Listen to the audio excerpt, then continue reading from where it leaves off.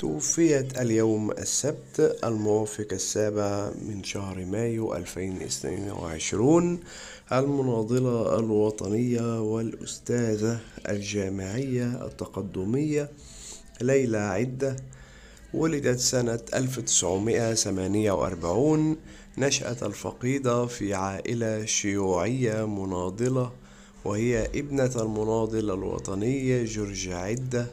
وزوجة المناضل صالح الزغيدي رحم الله الفقيدة ورزق ذويها جميل الصبر والسلوان. ادعوا لها بالرحمة والمغفرة في التعليقات